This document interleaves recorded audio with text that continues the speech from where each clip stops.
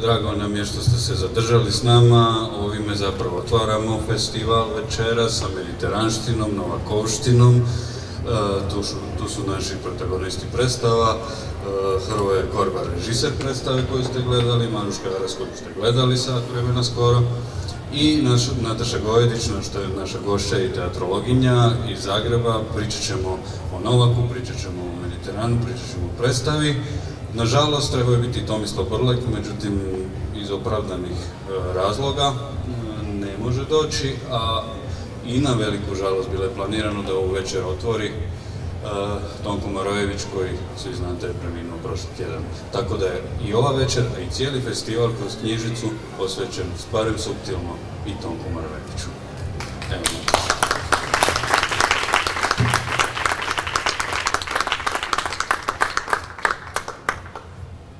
Još je tamo, još je tamo, po nekima s ponosom.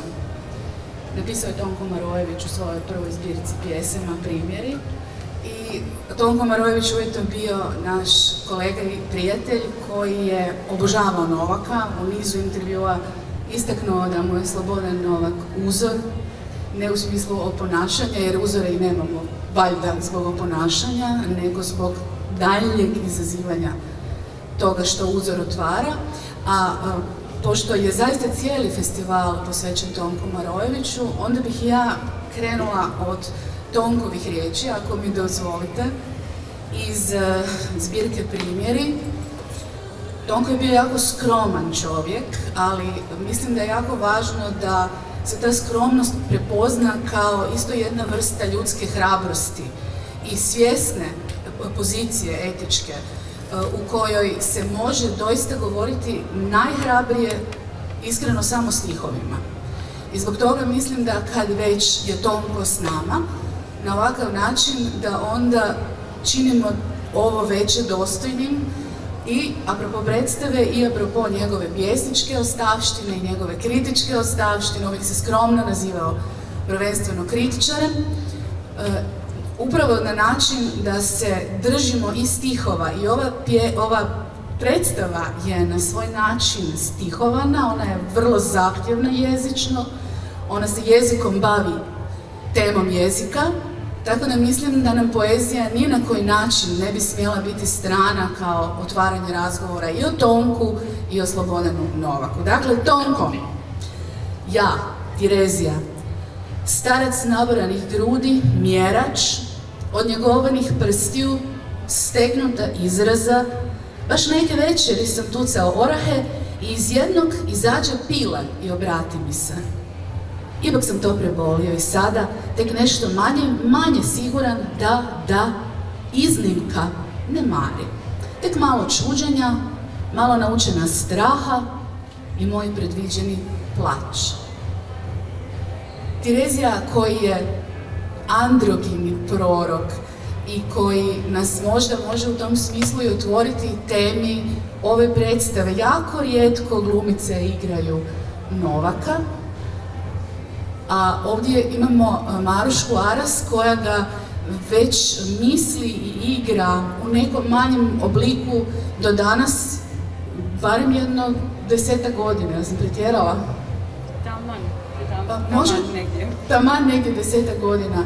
Gdje je počela ta isto preobrazba iz uh, muškog teksta, iz teksta koji je napisan glasom uh, muškog uh, subjekta u glumačku izvedbu koja na različite načine tirezijski dovodi u pitanje to tko je na sceni, na putu, u pobuni.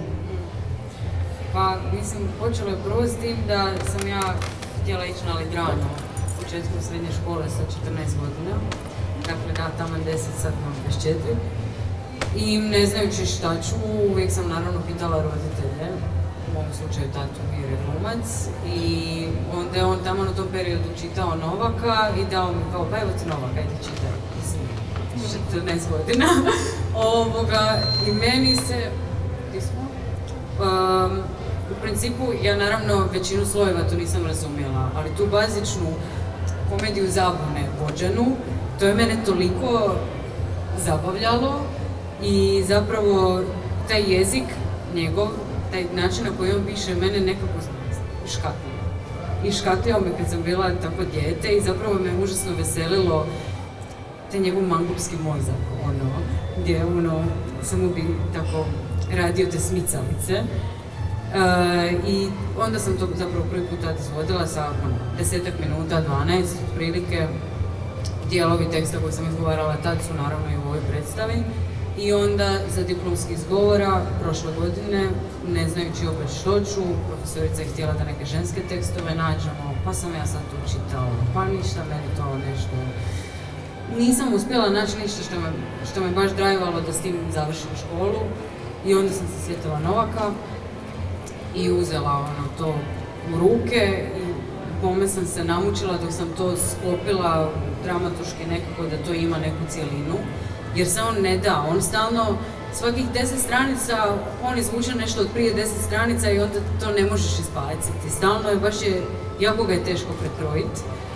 I eto, to sam uspjela, ne, ne više sam se time bavila zapravo u tom periodu. I s njim sam onda izašla na ispit. I Hrvo je to gledao, moj tata je gledao i tako mnogi neki profesori su me bodrili da od toga napravim predstavu profesori izgovora nisu bili najzadovoljniji, ovoga, ali svi ostali su, njima se uglavnom svidjelo. I onda sam ja s Hrvom zapravo pričala, pa on rekao ako bi ja ikad to i radila, da on za da sudjeluje. I kad smo to pokrenuli, ja sam upisala ispit iz predmet iz produkcije na akademiji da malo to sama nekako naučim. I tako je tu onda sve počelo zapravo da nastane sve ovo. Malo sam se uprostiti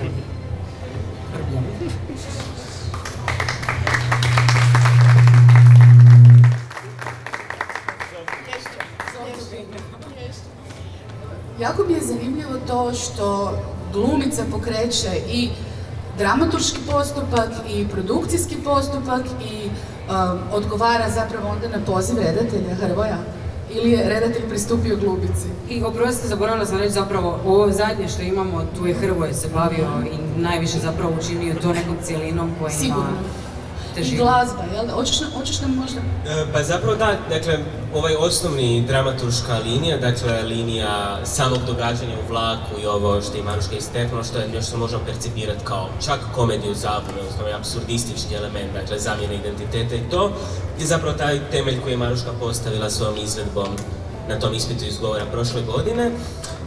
I nekako se ta suradnja dogodila spontano, što smo Maruška i tijekom studija puno surađivali, što na glumačkim klasama, što na mojim ispitima iz režije, što u nekim profesionalnim produkcijama. E, tako da smo na neki način i prijatelji, i kolege, i skupa smo nekako odrasli na akademiji, što je neki sastavni dio, vjerujem, i ove suradnje.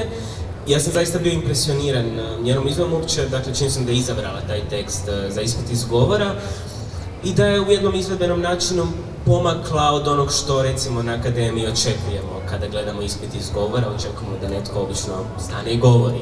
Ovaj, malo kad se dogodi neki pomak od toga, Maruška već i taj ispit dosta postavila u ovom karakteru, dakle naglašeno minski. I ja sam zapravo njoj tu već već rekao, meni ovo super, ako ćeš htjeti, ovo što je rekla Maruška, na neki način to oblikovati dalje, ja bih ti rado pomogao i daj mi knjigu odmah. I već tad sam pročitao knjigu prvi put i onda na jesen smo zapravo nekako sklopili taj dogovor da, da ćemo surađivati. Gdje sam se ja zapravo ponajviše bavio kako to dramaturški pokušati još malo jasnije možda strukturirati, izvući ovaj, neke niti, vidjeti što možda ipak se može nekako, od zašto je Maruška kao što je rekla dugo živjela s tim tekstom, što aktivno, što imajući ga negdje ovaj, u primozgu, pa onda uvijek nekako ono kill your darlings moment, kako se odvojiti možda od nečeg što je ne znam, sjajan jezični moment, što je nešto što je atraktivno možda za neku glumačku igru, ali nam možda malo dodatno otežava i onako dosta, ja mislim, zahtjevno praćenje ovaj, uopće, kako bih rekao, narativne linije ove izvedbe. I zapravo sam je onda pokušavao još izvući neke momente koji nisu toliko vezani za ovaj narativ, dakle tu govorimo o početku, kraju i zapravo srednjem dijelu, što iz drugih dijelova romana, što malo sam onda naravno i prošao kroz druge Novakove tekstove, da zapravo taj lik pozicioniramo uopće u neku, u neku cijelinu, tko je taj čovjek koji se nalazi u toj situaciji, što je možda... Tko je ta osoba Tko je ta osoba, da, koja se tu nalazi, ovaj, s obzirom da neko je bilo zaista meni, čak kad sam gledao prvi put, isto zahtjevno zapravo uopće činilo nam treba neki, da ne idem u taj in media stres kao što jest taj središnji dio romana Novakovog napisan, on je direktno situaciju, ali da zapravo dobijemo neki, neku širinu i ova zapravo dva dijela romana koji ipak daju na stranu njihova događajnost, odnosno narativnost, ali koji daju neku širu sliku zapravo te osobe. Zanimljivo bi bilo možda vidjeti kako bi se nadovezao i prvi i treći dio romana na ovaj, sa, u, ne, u nekoj trilogiji, obzirom da hrvatska kultura uvijek postoji, već dugi niz godina postoji, neću generalizirati, našim inicijativama, našim ambicioznostima, našim vizionarstvom, ne od ozgo, nego sve od ozdo, iz, iz rada, iz umjetničkog rada, ne iz repertoara, ne iz institucija u tom smislu. Mislim da bi bilo jako zanimljivo vidjeti kako se odnosi prvi dio teksta, u kojem e, se bavimo nestručnošću kao problemom s kojim stalno svi zapinjemo, stalno nas vode ili nam odlučuju, ili su nam nastavnici, ili su nam e, nadređeni, ili su nam saborski zastupnici, u svakom smislu kapetani Novakovim jezikom, e, ljudi koji nas dovedu do brodoloma. I onda se dogodi da nas zapravo neko slučajno spasi, kao i kako bi se na to nadovezao treći dio romana, e, koji je isto na drugačiji način e, opet postavlja pitanje toga za što, kako, kako da se konačno počnemo osjećati kompetentnima, gdje je došlo do, te, do tog našeg osjećaja da, se, da imamo jako male ambicije, da se ne smijemo previše usuđivati. Ne? I mislim da u tom smislu Novak izvrstan uh, početak jedne karijere umjetničke koji treba njegovati Maruška.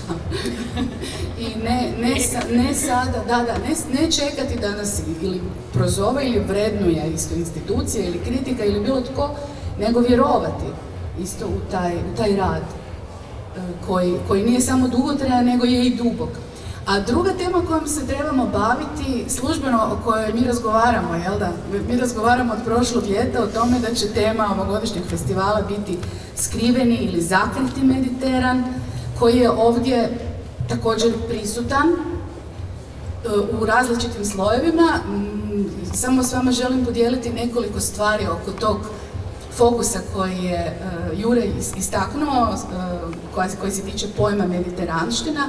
Znači u dvije centralne kanonske knjige o Mediteranu, znači Fernand Brodel i mediteranski brevijar Predraga Matvejevića, pošteno se priznaje da je Mediteran prije svega nepoznanica.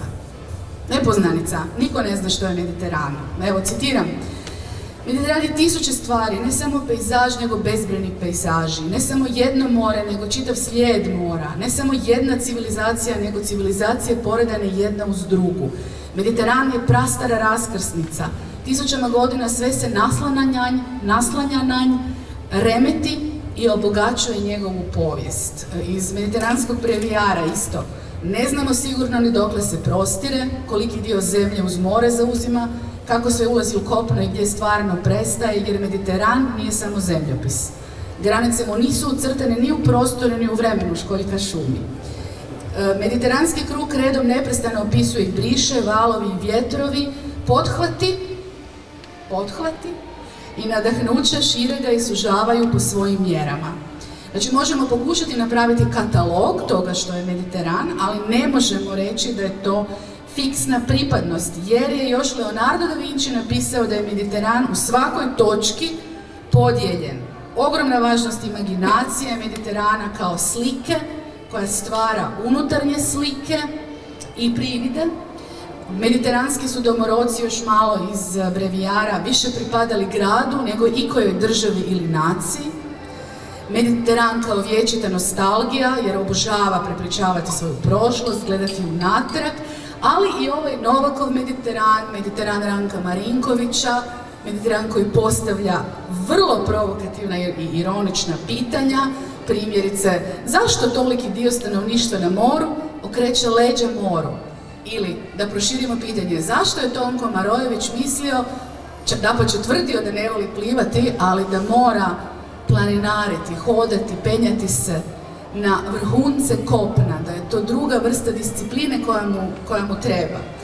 I sada ne nabrajamo koja sva, sve pitanja su ovdje, ali jedno od najvažnijih je zašto je Mediteran gusarsko gnjezdo. Da li, zašto je najviše gusara bilo upravo na Mediteranu? Zašto je prvi pučki teatar u Europi bio na Hvaru? To su sve isto pitanja oko kojih se vrtimo i Matvejević smatra da biti mediteranka, to je časna titula koja se stječe, ne rađaš se kao mediteranac ili mediteranka, nego to eventualno postaješ. I s druge strane, iz pozicije antropologije i sociologije ovih prostora, prisutno je stalno politiziranje Mediterana, desnica koja ga često prikazuje kao eurocentričku koljevku klasičnu civilizacije i samim tim je mjesto legitimacije osvajanja ostatka svijeta, ali i zanimljivo lijeva mitologija, imate Kamija koji, koji zaista u Sizifu kaže da Sizif ne bi izdržao gurati kamen svaki dan iznova da nije mediteranac i da ga ne pogoni sunce. Imate Deriduna Capriju koji 1998. godine kaže da smo svi mi mediteranci, ne po porijeklu, opet, nego po tome koliko nas Mediteran magnetski privlači i u tom smislu e, što to znači i za vas, autorice i autore ove predstave, e, igrati je od dubine šuma pustih otoka do Vrapča. E, pa evo, mislim ja nisam mediteranac rođenjem, ja sam rođen u Zagrebu, ali moja majka je rođena u Splitu, tako da je, tako da sam zapravo dosta svog djetinstva i proveo u Splitu i stalno mu se vraćam e, ljeti, zimi, o uskrsima, božićima i svim drugim ovim obiteljskim okupljanjima. I zapravo za mene uvijek e, taj prostor, bez obzira što tih bake i djeda više nema, bio najsigurniji prostor na svijetu. Taj Siguran. u Splitu gdje je sve bilo po mome i sve bilo kako sam ja htio. I dan danas je tako, tamo spremao za upis na akademiju, tamo sam sad pisao diplomski rad. To je moja ludnica, dakle kad sve prekipi ja idem tamo. Ovaj, ali to je ponovno naravno pitanje toga da ja tamo nisam cijelo vrijeme. U kontekstu ovog dijela Mislim da je to ovaj, svakako dakle, i Novak i Marinković kojeg ste spomenuli i Šegedin, a kasnije ovaj, jeli, i Baretić zapravo koji se bave otocima.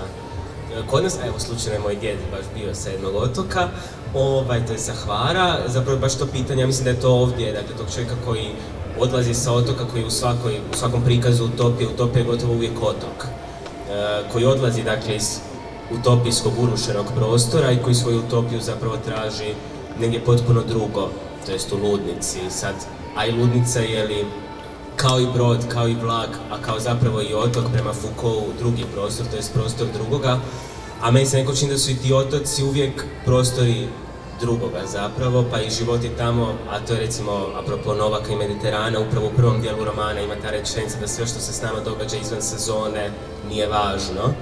Tako mi se na neki način čini da i danas je nekako stvar takva, ako ne možda i gora, ovaj, a da se zapravo baš tada tamo događa ovaj, nešto zanimljivo. Ovaj, I s druge strane nekako, mislim kao što ste rekli, prvi pučki teatar, ali na kraju kraju recimo Pirandello je s Mediterana, Fellini je s Mediterana, Almodovar je istine iz unutrašnjosti, ali Mediterana. Meni zapravo ta neka i tradicija i ironije i mislim i puno prije, pa i kazalište na kraju krajeva ovo koje mi baštinimo s Mediterana.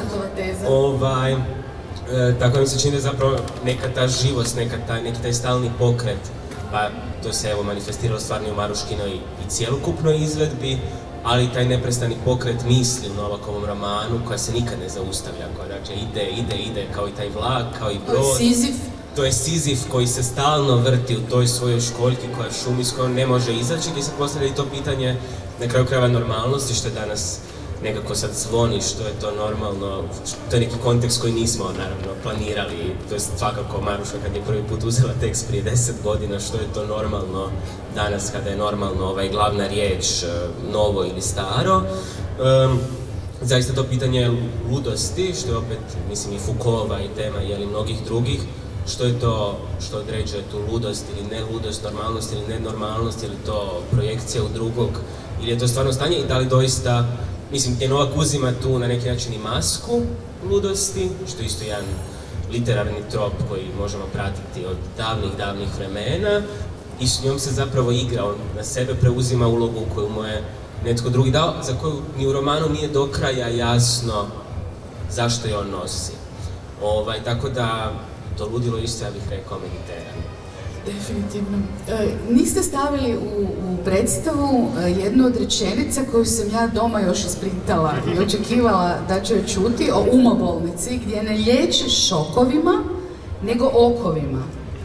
E, I jako je zanimljivo to usporediti sad ne u ovom smislu opet napadati psihijatriju i psi profesije općenito, nego evo Tonko, Tonka citirati kaže Tonko stisak kao da ipak stimulira.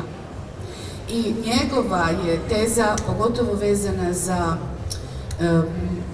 godine kada se afirmirao, znači 69. godine mu izlazi prva zbirka, da oskudica i da zapravo neimaština, nevolja, ovo sve što opet prati e, naš rad u smislu malih gabarita onoga što je produkcijski moguće, da to stvara i osobitu vrstu odgovornosti, da to stvara povišenu svijest o tome da je stisak um, sužavanje uh, fokusa na ono do čega nam je stvarno najviše stalo. Uh, pa zašto evo recimo, zašto smo, zašto, zašto ta rečenica nije ušla? Ja znam zašto nije ušla u mojoj prvoj verziji, zato što je ona, mi- mislim, ova verzija e, pre- iz predstave je dosta skraćena verzija te priče centralne Školjka šumi, zato što on na kraju i ode kod tog prijatelja liječnika i povede tog svog sirenu tamo, taj liječnik je još luđi od svih njih, Jasno. i to sve odlazi u toliko, ono, mislim, ne možeš više, a to tek ne možeš kratiti. Predstava bi trajala 100 godina da sam išla sve to raditi, ja, ja to ne bi mogla, a ja nisam imala ovu varijantu e, šta bi mi još moglo urediti tekst, što je recimo Hrvoje, ne tekst, nego mislim urediti, ružno možda riječ, ali tu je Hrvoje uzimao druge dijelove, ovo više ne radi. Iz e, drugih tekstova. A, uglavnom, evo, ti sad reci zašto tu rečenicu Zašto ti okovi, uzeo. pa zašto sam ja okove uzeo druge, a to su okovi koje magistar sam sebi nameće, što je zapravo ova psihoterapija konsonantske eskivaže. To je isto, iz nekropole. To je iz dijela. nekropole, tako iz trećeg dijela, gdje zapravo to je dio koji se odvija, početak njegov se odvija narativno jeli u ludnici, gdje on odlazi na otok ponovno, gdje se sad ta tri putovanja jeli, zaokružuju, ovaj, gdje smo zapravo onda sam ja nekako, ovaj, budući da smo nekako se klonili ovih psiho konotacija, upravo da ne odemo u ove rukavce osuđivanja ili neosuđivanja razno raznih jel, metoda ili ne metoda, pogotovo s obzirom da se i ta psihijatrija ipak reformirala, to jest transformirala dosta od vremena kada nastaje roman do danas i to zaista nije neko područje od moje velike ekspertize, pa nekako nisam imao vremena zaroniti u njega možda do kraja. Pa smo zato posegnuli kroz ovom, jeli, konsonantskom eskivažom kao ograničenjem koje netko postavlja sam sebi.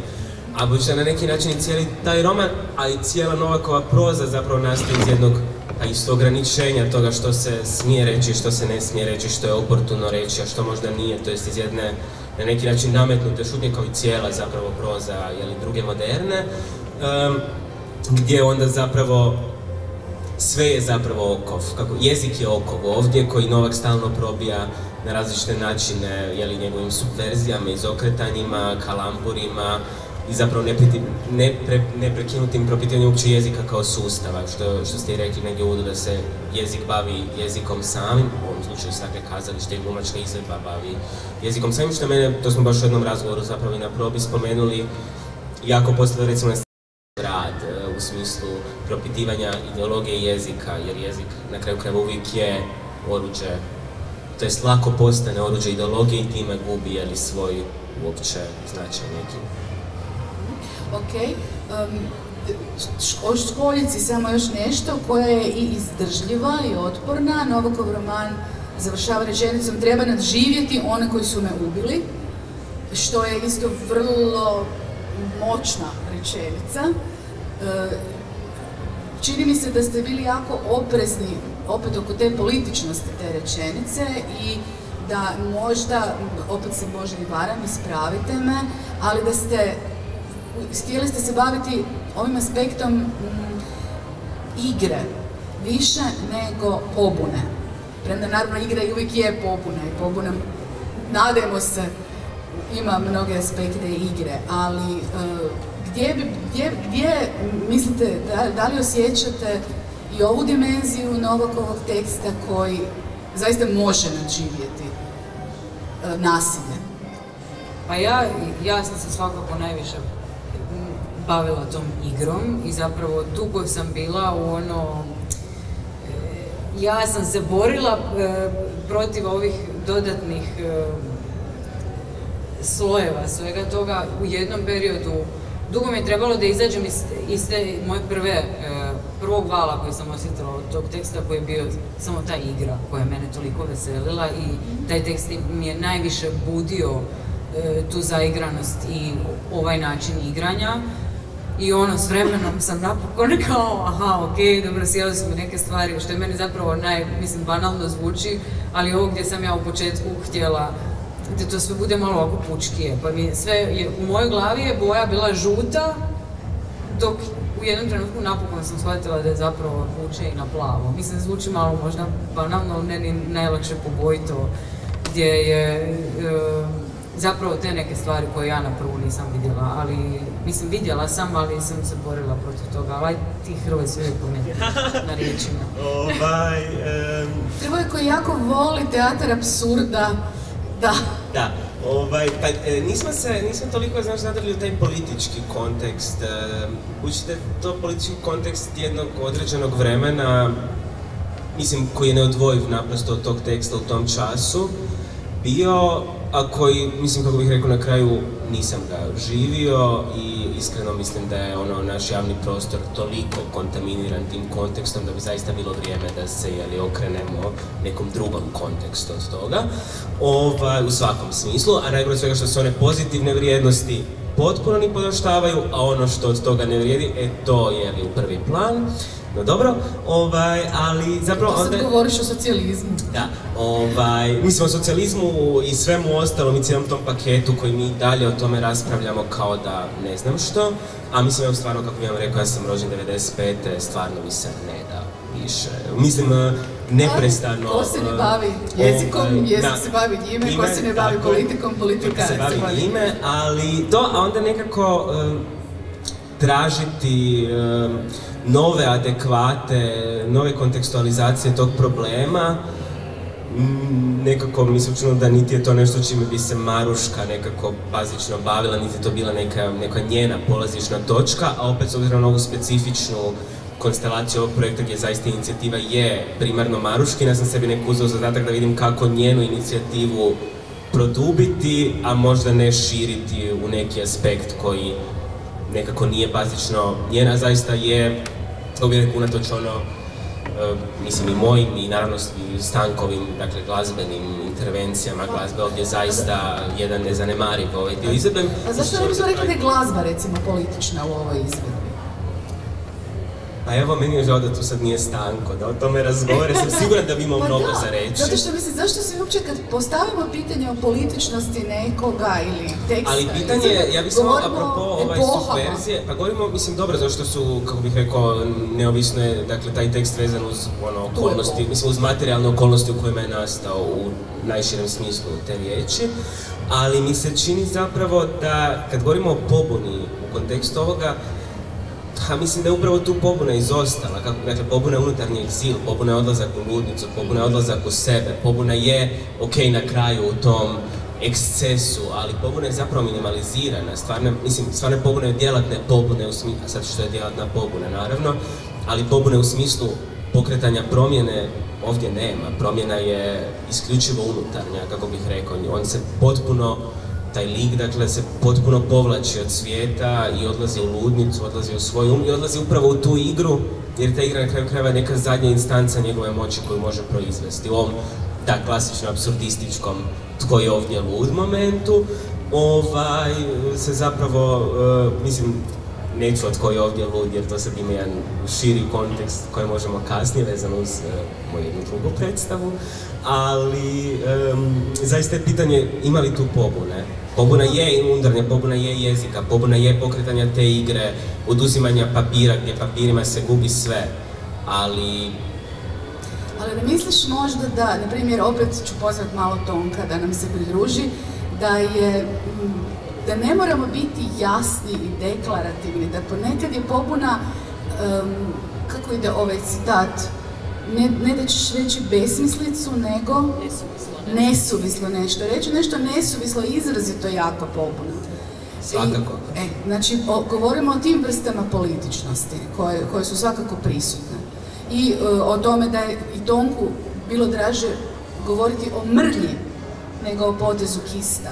Jer je u mrlji puno veći potencijal nego u jasnom potezu kista. To, o toj političnosti sam mislila. Ali da sad ne govorimo samo mi, dragi prijatelji i prijateljice kazališta, koji ste ovdje s nama, jako bi nam bilo drago da čujemo i vaše glasove i da čujemo i vaše razmišljanja o predstavi, jer izrazito sam molila da nas nekako osvijetle, e, tako da, da budemo svi uključeni, da nas približe, da, e, da zaista pozdravimo ovu predstavu otvorenošću, ako je to moguće. Jer predstava je otvor, od nas otvara. E, Pa evo, ako želite možda podijeliti neko svoje razmišljanje, jako bi nam to puno značilo.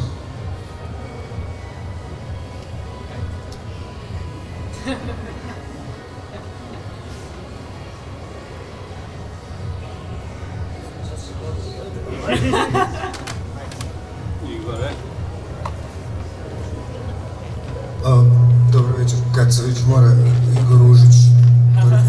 Pardon. Ispričavam se, imam jedno pitanje, samo kratko. Naime, čestitke mlade glumici koja je, meni se čini, dosta sazrela od prošle godine do ove, koliko ja malo ovo znam. A, s obzirom da se time baviš već toliko dugo, Naime, imao sam cijelo vrijeme problem sa ovom klovnovštinom, sa ovim potezom brisanja jednog lica i postavljanja drugog lica. I na trenutke sam imao čak problem s tim kao da je usiljena duhovitost e, imati tog sirenu i kao da ga se, mislim on je već dovoljno tekstom postavljen zaista u, krajnje negativnu, apsurdnu poziciju, u, e, u poziciju u kojoj on metafora svega lošeg, i, i, a lako se njime rugati u tom kontekstu. I onda mi je bilo to kao, a zašto to? Mislim, zašto ne ideš samo iz, to je zašto to nije zaista monodrama tog jednog, jer taj jedan lik, taj jedan čovjek, taj jedan karakter, taj jedan mozak je već dovoljan univerzum sam za sebe i dovoljan je ne samo za jednu predstavu, nego za to što si rekla satove i satove monodrama, ne? E, pa sad samo zanima to zašto moraš igrati ovog drugog, mislim, zašto taj drugi nije, i to bi neka i logika bila, mislim da taj drugi je sve okolo, mi koji gledamo tu predstavu, ne? Ti, ti si u tom trenutku, taj lik, to što ti igraš, e, je sam protiv, ne svih, nego svega. Pa, evo, pitanje. Ja razumijem. Ovoga, pa dobro, ja prvo mislim možda sam ja čak i malo previše otišla u karikaturu s njim, jer je on već sam, to što kažeš po tekstu tako je predstavljen. A odgovor zašto sam ja to tako, pa ja mislim da najviše zato što sam naprosto tako osjećala taj tekst, pogotovo zato što sam tako mlada prvi put to čitala, ostao mi je taj neki naivni pogled na sve to gdje ja recimo u verziji svog ispita sam još infantilnije mijenjala ta dva lika. To je baš bilo ono crtanje. Sad sam ja jedan, a sad sam malo drugi. Pa Onda sam skakala iz jednog u drugi i to smo sad malo smanjili da ono više budu promjene zapravo u, u tijelu. Ne znam, ja taj tekst tako vidim. Može on ići i tako da se, da magister cijelo vrijeme njega zapravo samo citira, ali možda ja naprosto u svojoj glavi još nisam tako daleko došla. ne znam. Možda i Hrvoje ima nešto za reći na tu temu. Jo, ja sam puno govorio, ovaj, već do sada, ali pa do, mislim, meni se to, razumijem potpuno ovaj, e, opasku i ona na, naravno stoji. Mislim počno da u toj, čak i u toj klauneri ponovno postoji nešto u klauneri što je egzistencijalno, a kako bi rekao, pozicija klauna nije samo pozicija zabavljača. Ja sam zaista nekako radio s Maruškom na tome da to očistimo od svega što bi se moglo tumačiti kao neka vrsta entertainmenta, to jest neke zabave radi zabave, neke duhovitosti radi duhovitosti, ali čini mi se da je i duhovitost i humor, pa i klaunerija zapravo, koliko uvijek smještamo u neki, kako bi rekao, neću reći niži žanr, ali u nešto što je kao gdje se ide smijati, ja cirkus ovako lično obožavam, čemu je Maruška svjedočila isto jednom prigodom. Ovaj, ali mi se čini da ima nešto i u toj poziciji klaunerije i klauna također, egzistencijalno što se meni činilo da s ovim romanom korespondira, to je sa ovim dijelom romana kojim se Maruška odlučila baviti i nekako opet, sad opet ulazimo u rubriku e, Maruškinog ovaj, inputa zapravo. Mislim da taj input u odnosu na nju i u odnosu na ono što je ona u tom tekstu vidjela nekako organski točan, sad tu ne mogu ovaj, nekako malo i do ove sfere neobjašnjivog možda. Mislim, naprosto to neki ono umjetnički izbor koji se dogodio, koji se meni učinio zaista prikladnim za cijelu ovu konstelaciju. Da, i mislim da on rađa svjestan svjestan rad s groteskom.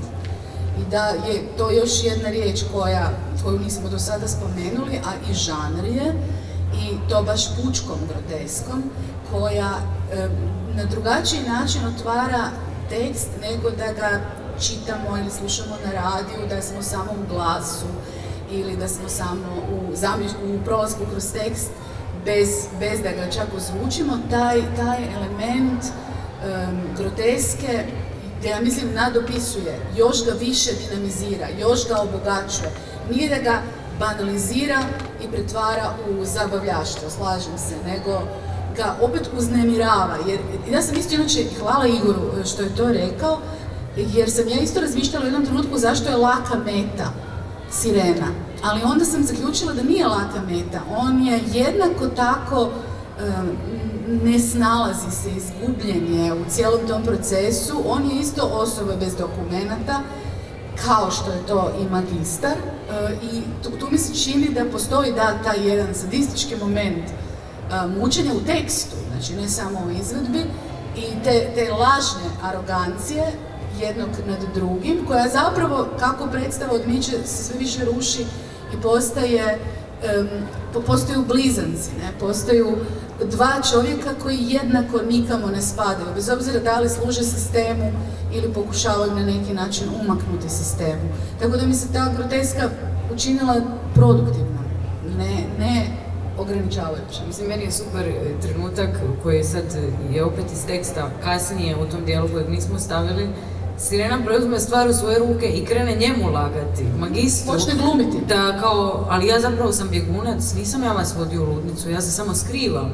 I onda magistar poludi na njega i počne ga vrijeđati kako se on osudio njemu lagati, da kakav je on to čovjek. Meni je, mislim, u tom smislu se stvarno oni jako na kraju... Zamijenjuju. Da.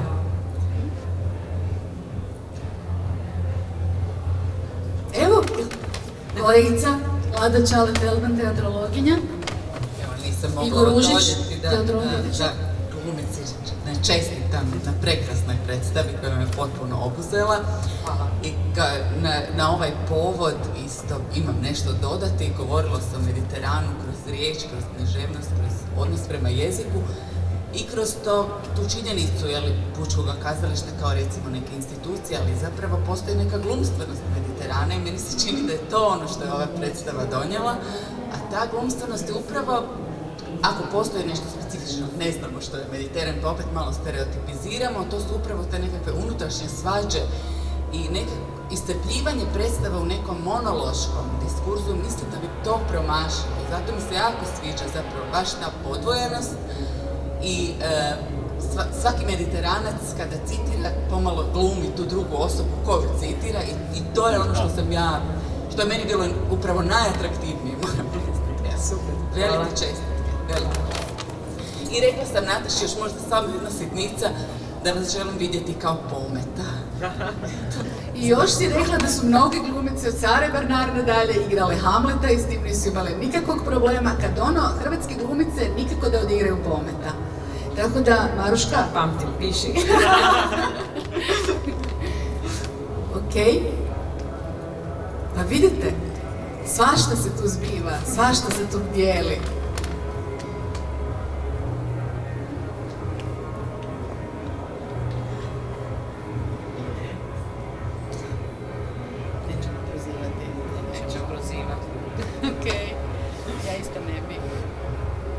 Ok, onda bih možda za kraj opet pročitala Tonka. Tonka, i to jako sam puno čitala, bila sam u Biogradu, otišla sam u Biogradsku knjižnicu, odlično opremljenu, nemaju kompletnog Tonka Marojevića. I uh, Tonko je jako puno pisao o Mediteranu, ispisala sam stranice i stranice i stranice i stranice Tonkovih uh, citata i u esejima i u stihovima ali ono što me posebno, što mi se čini posebno važnim, jedna, pjesma iz zbirke Drvlje i kamenje, koja ovako ide. Blago mjesecu što se sunce drži i od njegove snage svoju pravda. Lako je moru vezanom uz mjesec, te diže se i spušta kako hoće. Mjena od ozgo, a vjetrovima zamjerit se nećemo govoreći da zavise od mora. Pa ni moru neće biti sasvim krivo, kažemo li da vjetrovi mu daju svoju mjeru kad po njem oru ili miluju blago drhtavu mu kožu. Jedino moj susjed, ulančan nešto manje u tog sveti pretvorbe svega, oduprijet se hoće ideji zavisnosti, snazi sunca, pa privlačenje priznaje, tek ako usisan bude u zlu crnu rupu. Tim suncem kao suzavisnošću koje priznajemo, priznajemo da smo zavisni jedni od drugih na mnogo načina, nismo ovisnici, samo smo zavisni. I da, da se snažimo i nosimo jedni druge na mnogo načina i Tonku hvala na tome, bih onda završila ovu večer. Hvala vam lijepo. Hvala Hvala.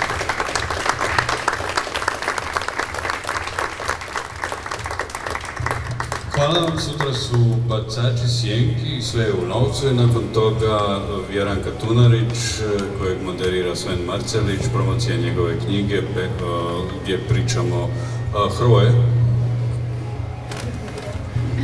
Molim te predstaviti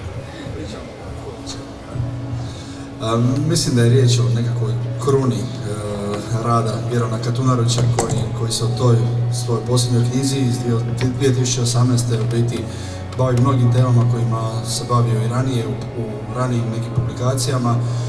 Naziv je, ako se ne varam, The Quest for Liberal Socialist Democracy and Development Against the Behemoth i na neki način u biti kroz dijalektiku društvenog razvoja, kako on to naziva, pokušava zahvatiti teme nekakvog mogućnosti, nekakvog zdravijeg razvoja, kako on kaže u predgovoru, kao da je to možda njegova posljednja publikacija, njegov posljednji pokušaj da raspiri nekakvu nadu u bolju, nekakvu bolju zajedničku budućnost i u nekakvu humaniji, humaniji razvoj našeg društva.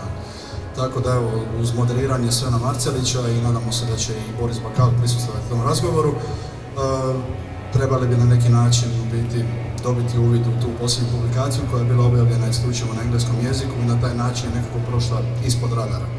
Mislim da mnogi koji su uključeni u društvenu humanističku misao nisu uopće znali za tu publikaciju ili nažalost nisu imali prilike pročitati pa će ovo biti jedna dobra prilika da eto na taj način nekako i profesor Katunarić koji je sad u mirovini zaokruži svoje djelovanje i da nam to predstavi. Hvala. Hvala ti Hrvoje. Vidimo se, uživajte. Hvala vam još jednom.